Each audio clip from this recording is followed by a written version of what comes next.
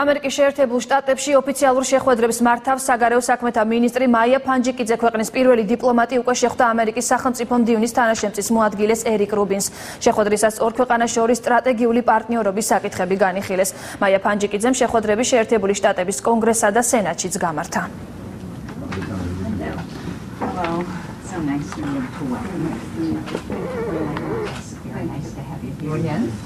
ეს არის საქართველოს ევროპული და ევროატლანტიკური ინტეგრაცია და თხოვნა ამერიკის შეერთებულ შტატებს რომ ხარი დაუჭიროს საქართველოს ნატოში ინტეგრაციის გზაზე, განსაკუთრებით 2014 წლის 3-ზე.